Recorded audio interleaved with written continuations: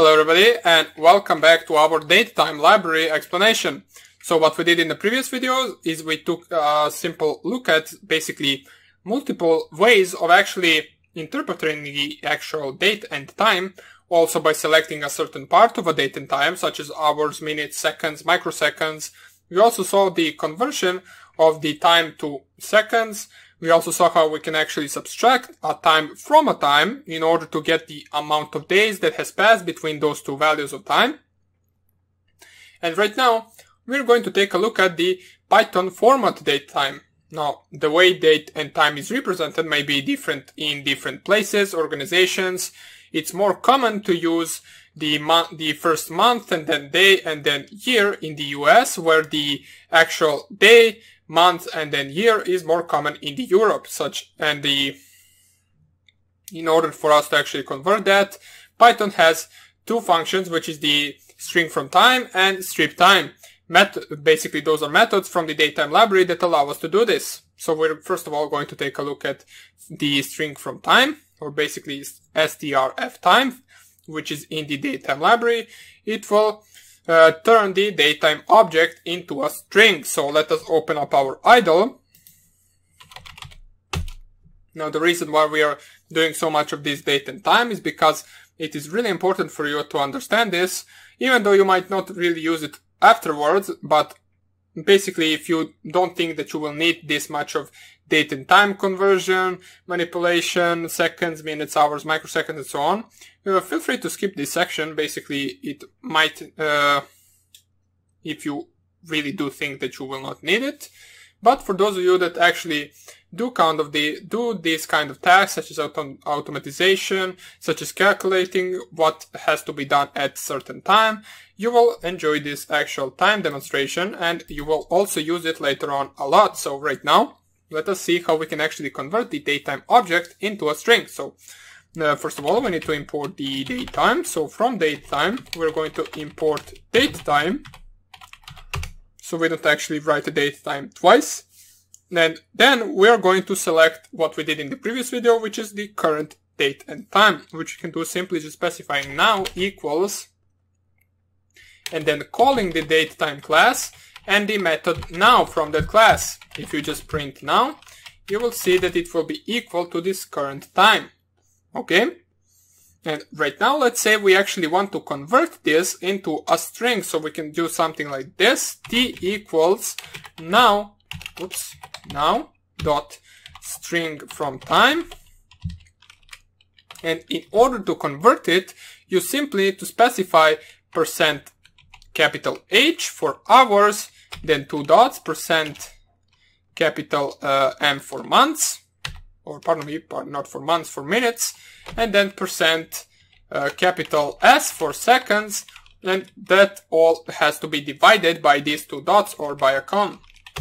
Okay, and then if you print T, you can see it will print out only the current time in hours, minutes, and seconds.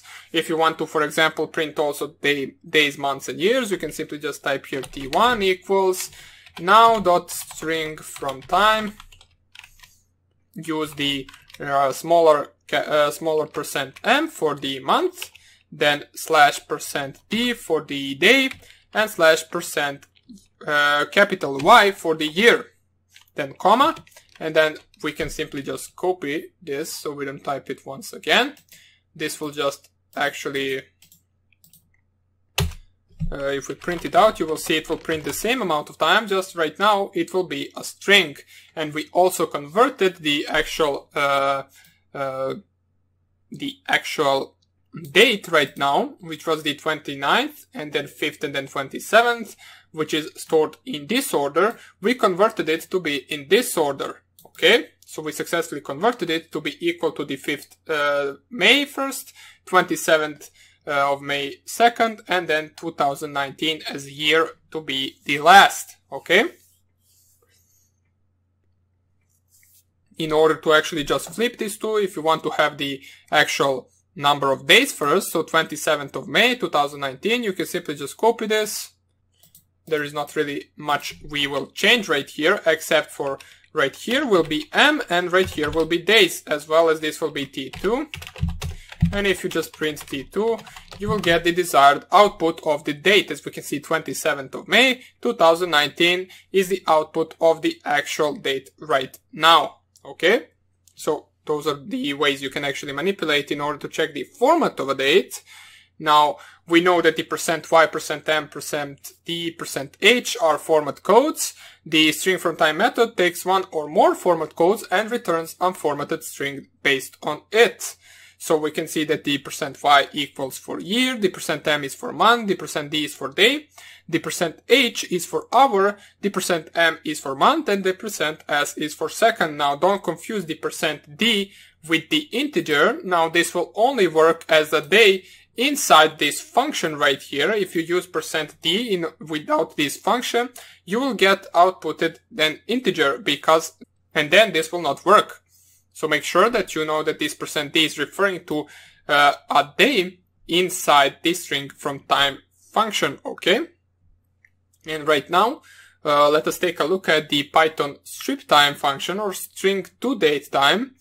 Uh, basically what this strip time method creates is a datetime object from a given string. It is representing date and time at the same uh, basically time. So right here what we're going to do is we're going to create a date string which we can write something like this. So we can be 27th May 2019. So this is a simple string. We can print it if we want to, just to make sure, as we can see right here, 27th May 2019.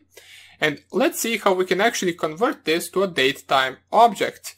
So we have a date string and right now we want to create a date object to be equal to date time and we use the function strip time or strp time and in between the brackets we need to specify two things. We need to specify the string that we want to actually convert and we also need to specify the format for that string that we are converting. So first of all we are converting the date string and then comma, and right here we need to specify the format, which is going to be percent %d for days, then percent %b,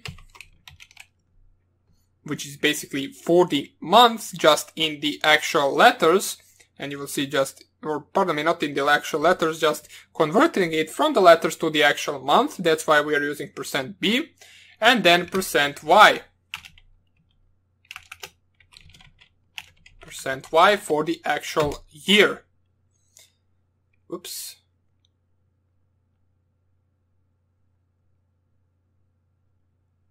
Time data does not match format. Yeah, okay, we need to actually switch this up. Let me just, or do we actually?